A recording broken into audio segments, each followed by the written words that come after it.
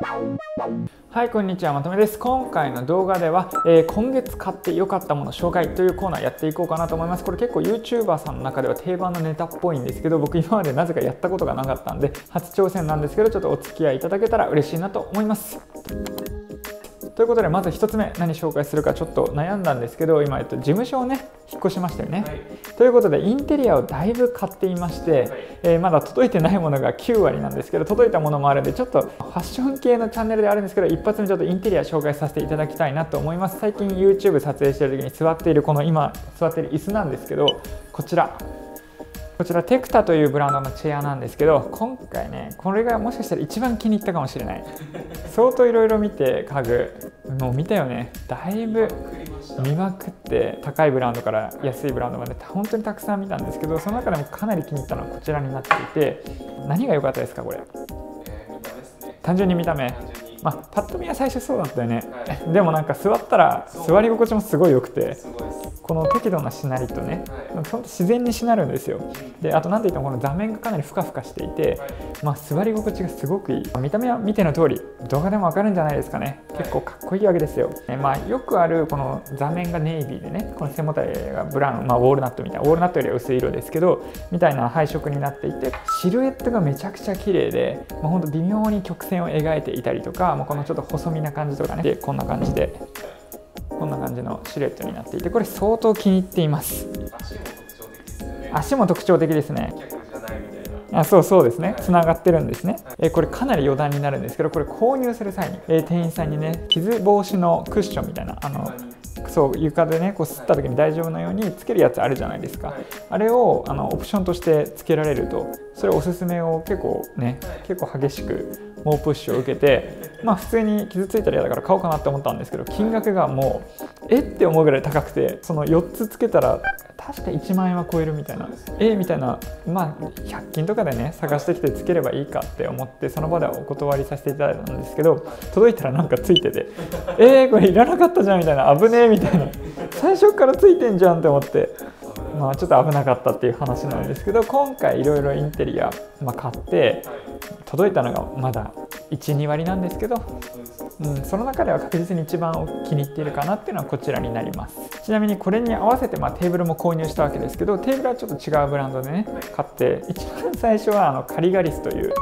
ブランドのテーブルを購入したところ、えー、お届け1週間前ぐらいですかね、えー、カリガリスその取扱ショップからかな、えー、ご連絡があり、えー、なんと5ヶ月遅れると。えーって。5ヶ月ですか？みたいな。ちょっと5ヶ月は厳しいかもしれませんというところで、まあ、他のショップで散々調べたんですけどどうやら何かそのパーツ自体がないみたいな。もうないみたいな。そもそも無理なあれを注文してたみたいなんですけどそれも届いたらちょっとなんかルームツアーとかもしやる機会があったら紹介したいなと思うんでちょっと楽しみにしていただけたらなと思います。続きましてこちら紹介させてください。ロエベのミニウォレットですね、まあ、ロエベっていうブランドがありまして結構ハイブランドの一つなんですけど最近すごい人気だよねロエベ。よく聞きますね、まあ、バッグとかが有名なブランドになっていてこのチャンネルご存知の方なら見てくださっている方なら、えー、ご存知であろう JW アンダーソンさんが行っているあのユニクロ &JW アンダーソンとかあったじゃないですか。あのデザイナーさんがやっているブランドロエベっていうブランドがあるんですけど、まあ、ロエベといったら結構レザーが有名で、まあ、バッグのイメージすごい強いと思うんですけどバッグも財布も共通して、まあ、有名なのは何なのかというと、まあ、レザーが有名なんですよね。それはまあそんな感じでレザーのミニウォレットなんですけどこれがねすごく気に入っててめちゃくちゃ気に入ったんですよこれ。今まで僕財布でここまで気に入ったものなかったんですけどこれはやばいですね。もう多分見た目ですかね。まあいろんな要素で気に入ってると思うんですけどでも使ってたらだんだん好きになってきたんで最初でも使いにくそうみたいな。そうまあやっぱミニウォレット使いにくいじゃないですかどこまで行っても。でこれも別に使いやすいわけではないんですけどそれでももうかなり気に入って使ってて愛着湧いてきたっていう、はい、まあ、この手のねミニウォレットって、まあ、そもそもミニウォレットってデザインのね入れ方というかデザインがもうほとんど決まっているんでどこのブランドもま一緒と言ってしまえば一緒なわけですよ。まあこの手の形ってどこでもあるじゃないですか。だからまあデザインがどこが優れているかとかがないんですけどまあ個人的にはまこの単純にロエベのアナグラムも好きですしこの小判の部分でねこう色が切り替わってるのもいいですし、まあ、レザーのあいいよねこれ。これが結構効いてて、まあ、このレザーの脂肪感も好きだし、えー僕あんまりね脂肪のあるレザーより結構スムースレザーの方が好きだったんですけどつるっとした表情の方が好きだったんですけどこれは相当気に入ってしまってしかもこれ脂肪があると何がいいかっていうとウォレットだと結構傷つきやすいじゃないですか。バッグとかに入れとくパターンもありますしポケットに入れるパターンもあると思うんで傷つきやすいんですけど脂肪があるとね傷が目立たないし傷入らないんで財布とかは結構脂肪感あるのもいいんじゃないかなと思っています、えーで今期のねこのロエベの財布、えーちょっと変わったところがありまして、えこのカードのケースここにちょっと分かりづらいかもしれないんですけどケースがあるじゃないですか。今までロエベってここにはついてなくて内側にこの中にお札の方についてたんですよね。このこのシリーズ。これが前に出てきたというところで今シーズンすごい人気らしくて今ちょっと在庫があるかわからないんですけど僕が購入した時点ではほぼもうないというお話でしたね、まあこの後はねあの URL 貼ろうと思うんで、まあ調べてみますが、えー在庫あったらかなりおすすめですね。でもうちょっと詳しく説明したいんですけど、まあ、先ほどお伝えした通り脂肪感のある素材って言ったんですけど超柔らかいですレザーが。ものすごく柔らかいんですよこのレザーの質感が。はい。あそっか。はいはいはい。人肌みたいだなって思いまあした。同じやつかなレザー違うかな。ふんわりした感じ。すごい柔らかい。で買う時も店員さんに本当に柔らかくてもしかしたら変形するかもしれません。柔らかすぎて物入れてると。それ大丈夫って思って。思ったんですけど今のところ大丈夫で。えめちゃくちゃ気に入って使っている。こんな感じこんな感じの形になってますね。であとここが小銭入れ。はい。小銭入れで、えーここんな感じ。カードケースでお札入れるところみたいになってて、えーあとこの中にもちょっとカード入れることができます。結構収納力ありますね。収納力意外とあります。ただえっとさすがにここはないですかね。小銭の方はちょっと入れただけでパンパン。なるほど。あとかえ結構物入れるとここが閉まらなくなってあ強制でパーンって開いちゃうみたいな、まあ、そんなに入れるなって話なんですけどついつい入れちゃうじゃないですか。そういうあたりではやっぱりミニウォレットの使い勝手悪いなと思うところもあるんですけど見た目がねとにかく気に入ったっていう。ーはい。今ミニバッグトレンドだね。はい。確かに。ミニバッグで長財布だと入らないし入ってもパンパンになっちゃうんで、えーミニウォレットっていうのは、まあ、今のトレンドにおいてはすごく必要不可欠かなと思います、まあ、はい。キャッシュレスのトレンドですしね、うん。まあ、正直これで全然いけるなって思います。はい続きまして3つ目紹介したいと思います。マスクコードですね。これ動画でも出ているかもしれないんですけどディスカバードさんっていうブランドのねマスクコードになっていてこの部分がこれディスディスカバードってこうかな？どうなってるかな動画的には。すごい単純な作りではあるんですがもうマスクコードめちゃくちゃ便利だなって買って気づいてあのやっぱ食事とかねする時とかマスクどうしようみたいなタイミング結構あるじゃないですか。置いとけないし、まあ、しまっとくのもしまう場所ないしみたいな。でもこれがあるともかけておけるっていう。あとちょっとした時に外す時もすごい便利で、まあ、この状態で全然いて全然疲れないわけですよ。かつちょっとねちょっとアクセサリー感もあってえーそれがすごくいいなと思って、まあ、男性ってやっぱ自然なファッションが好まれるんで、まあ、アクセサリー簡単なアクセサリーは全然大丈夫なんですけど結構いかついものとかだと敬遠されがちだったり機能的な役割を持ってないんでアクセサリーって基本的には。リングとか別につけなくても生きていけるじゃないですか、えーでも例えばメガネとかだったら、まあ、機能的な役割もあるし腕時計とかだったら機能的な時間を見るって役割もあるんでつけてても自然なわけなんですよ。でもアクセサリーってそうじゃないものが多いんで若干ちょっと作為的だったり不自然さを出してしまうものなんですけどマスクコードは機能的な役割がしっかりあって、えー今のご時世だとやっぱマスクってもう毎日つけるよっていう認識になってきたんで違和感がないんですよね。でもこういったシルバーとか使ってるとちょっと雰囲気が出るじゃないですか。これだけで装飾性があって華やかな印象を与えることができてファッション用途としてマスクコードってすごく優れてるなと今思っていてそんな中でもおすすめなのがこちらのディスカバードさんの、えーマスクコードだったりします。ちょっとポップな感じでね可愛い感じになっているんですけどこんな感じで単純に単純につけるだけなんですよ。これだけのことなんですけどあるとねすごく便利。これザキさんは持ってないっけ？えっとも持ってるか？はい。使ってるよね。これこれだっけ使ってるの？ね。一緒か。一緒のやつ使ってて。これめちゃくちゃ良くない？めちゃめちゃいいです。マジでいいんですよ。マスクコードまだ持ってないっていう人は、えーこれじゃなくてもいいんでマスクコードなんか一回買ってみて試すのいいんじゃないかなって思います本当便利です。本当便利なんですよね。これマスクつけるとリアルにちょっと例えばなんかピアスっぽい印象といいますかはいえーっとですねこんな感じでここら辺に来るじゃないですかシルバーの部分が。耳周りに来るんでと、まあ、ピアスがつけられないけどちょっと華やかさを持たせるとかそういった感じで使うことができるんじゃないかなと思います。ちなみにこのマスクコードなんですがコラボでねディスカバードさんと作成していたりします。相当気に入ったんで、えー、お願いしたらコラボしましょうみたいな流れに。あ違うか。コラボしましょうっていうお話をいただいていて、えー、気に入ったのは何かなと思ったらこれだったっていう話でじゃあちょっとこれをリプレイバージョンにして、えー、うちのブランドで、えコラボでやらせてもらえませんかって言ったところを今一緒に作ってくださっているっていうえ、ちょうどサンプルも今できていてこんな感じでちょっとすいません袋に入ったままなんですけどサイコロ状で先ほどのマスクコードみたいなものを作っています。これだとサイコロ状にしておいてちょっとねファッション性より強めていてマスクコードじゃなくてネックレスとしても使用できるような方向で今頑張っているところです、まあ、最終的にちょっとどうなるかわからないんですけどこんな感じでサンプル作っていて Twitter かなに写真アップしたりもしてるんで気になる人は Twitter とかもフォローしてもらえると嬉しいなと思います。このサイコロ上に REPLAY って刻印を入れて、えー、リプレイっていうブランド名にしていたりします。それとちょっとおまけ的な話なんですけどこちらのマスクアイアンマスクっていうね、えー、ブランドのマスク相当気に入ってまして、えー、これ、まあ、マスクちょっといいの欲しいなって思った人はちょっとこれ目を向けてみるのもいいんじゃないかなと思います。ちょっと張りのある素材感になっていて、えー、まあ、この手のねマスクって、まあ、今意外とあると思うんですよ。このパッと見だとあると思うんですけどこの張りっていうかこの素材感実際に触ると分かるんですけど厚みがあって見た目的にも優れていますし機能性的にも優れているものなんでとてもおすすめです。ちょっと余談になってしまいましたが。続きましてこちら、えー、古着のニットですね。僕古着屋やってるんで毎月古着のバイイングピックに行ってるわけなんですけどそこでたまに気に入ったものとか個人オーダーしていて、まあ、そのうちの1つっていう感じですね。こんな感じのネックが高いハーフジップのニット個人的に探していたんでちょっとこれがビビッときて今回もいただいたわけなんですけどいただいたというか買ってきたわけなんですけどハーフジップのニットって冬超使うよね、はい本当に重宝する。でこれ超巨大なんですよめちゃくちゃビッグシレットのニットになっていて入入りますかね。相当でかい。ものすごくでかい。ラルフのニットなんですけどやっぱラルフはね古着といえばラルフみたいな印象あるかもしれませんがやっぱりいいもの多いです。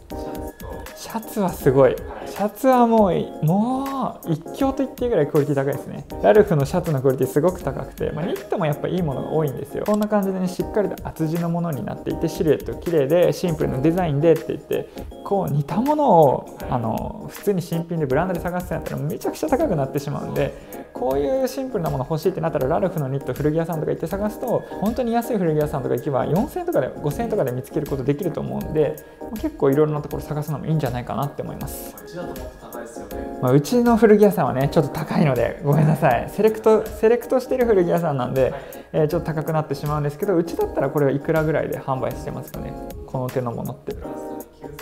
9000円とか、えー、高いですね。ごめんなさい。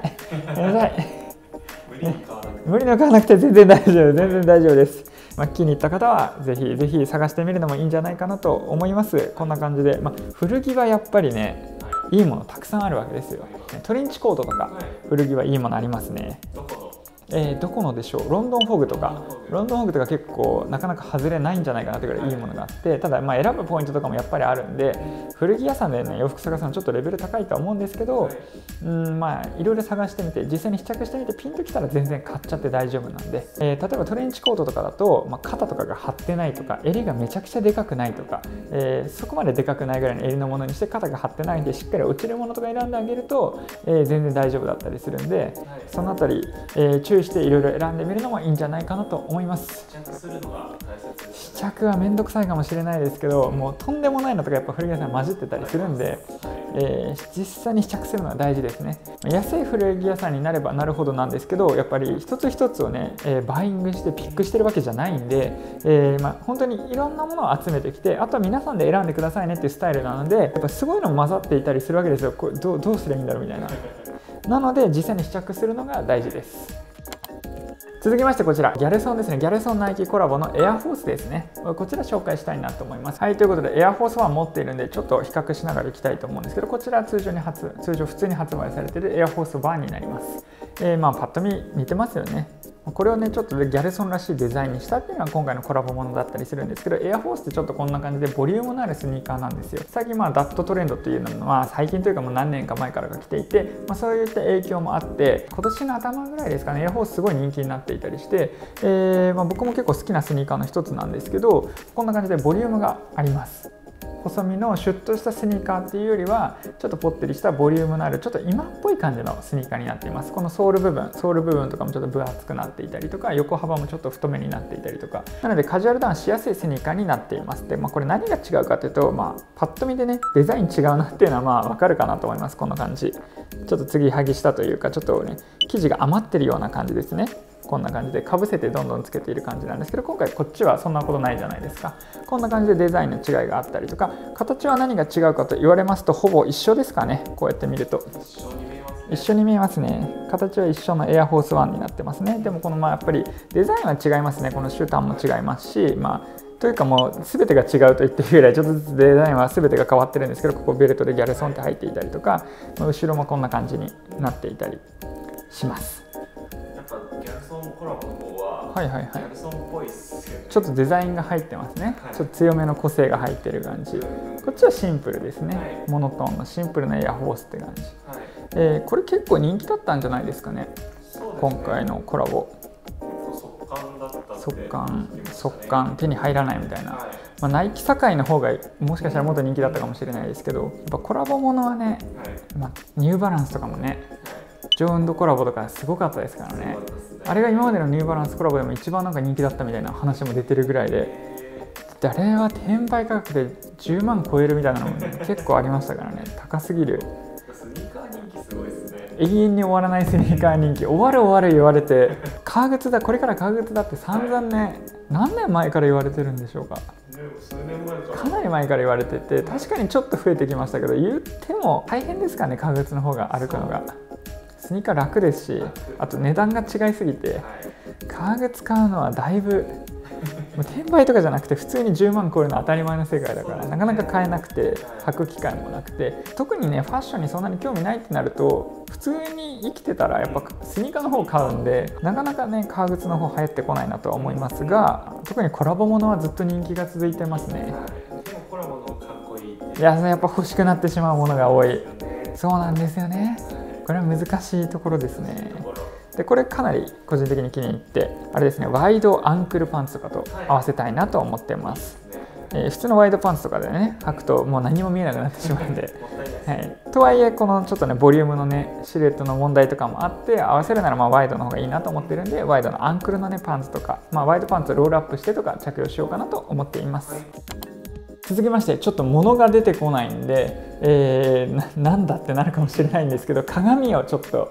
えー紹介したいというか紹介できないんですけどもうあの事務所移転したんで鏡を買ったんですよ。でかなり巨大な鏡を買いましてこれがね、えーすごくおすすめなんで、えーちょっと 物の紹介できないんですけど、えーここに入入りきらないというかまあいろいろちょっとすごく重くて持ってこれないだったり反対側も全部映ってしまってカメラとか丸映りになってしまうんでなかなか、え出せなかったりするんですけど URL 貼っておくんで、えそこからちょっとチェックしてもらえたらなと思います。こういった大きめの鏡ね一つあると本当に良くなるんでもうやっぱりどうしても鏡でしっかり見ないと自分のコーディネートって把握できないんで、え大きめの姿見っていうのは一つだけ持っておいてほしいなと思います。で具体的なねおすすめ商品って今まで出してなかったんでこれを機にチェックしてもらうのもいいんじゃないかなと思います。これ結構気に入っててるんでいいなとえー壁とねフレームの色が一緒で、まあ、壁が、まあ、普通白壁じゃないですか多く。でフレーム今回白いフレームの鏡になっていて部屋も広く見えますし鏡だと。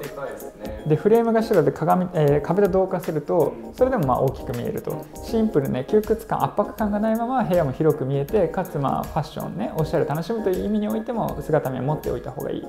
ということなんでとてもおすすめの鏡になります。ないですけど。ごめんなさい、えーということでこんな感じで今月買ったものでまあその中でも良かったもの紹介みたいなコーナーやってみたんですけどちょっと初挑戦でどれぐらいの量を紹介するべきなのか、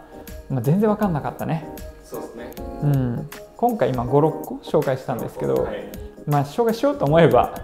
い。もうめちゃくちゃ買ってるんで毎月。月大体いくらぐらい買ってるんですかねこの仕事で。わからないですけど本当にたくさん買ってるんで紹介しようと思えば無限に出てくるんですよ。はい。ただどれぐらいの量をどれぐらいの時間をかけて一つ一つ紹介していくべきなのかわからなすぎてちょっとお試しでやってみたんで、えーこの動画もし反響あったら、えーチャンネル登録などなど増えていたらもう1回毎月恒例でやっていこうかなと思います。まあ全然なかったら再生数も少ないチャンネル登録もないということであればもう全く需要がないんだなと求められてないんだなと分かるので、えー、今回限りという感じにしていこうかなと思います。こんな感じでまとめチャンネルではファッションに役立つ情報だったり実際に買ってきた商品の比較レビューなどなど行っているのでこの動画良かったと思った方は高評価ボタンチャンネル登録していただけると嬉しいです。ご視聴いただきありがとうございました。バイバイ。